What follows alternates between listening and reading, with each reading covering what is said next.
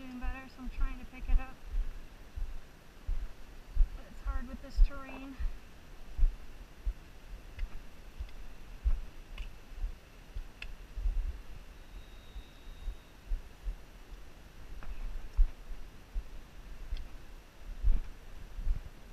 Feel bugs coming back.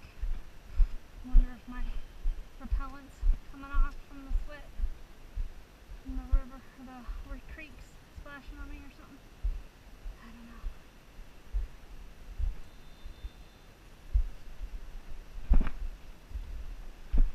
Remember the first 10 being extra long each way.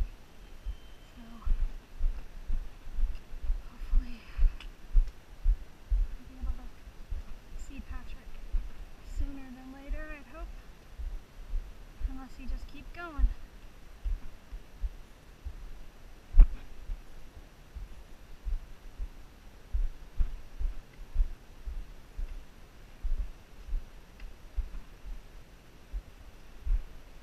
Isn't too hot.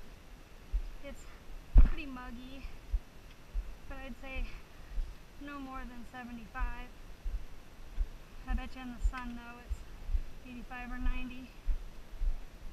At least it's supposed to get up to 90 today. Probably not till the afternoon. And that's in the city, so away from water.